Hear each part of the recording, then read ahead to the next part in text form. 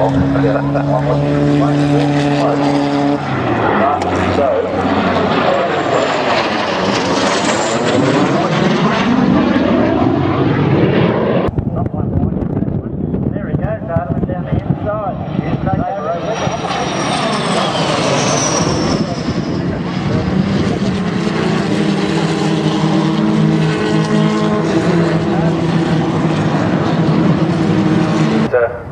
us beating this place up uh, something chronic.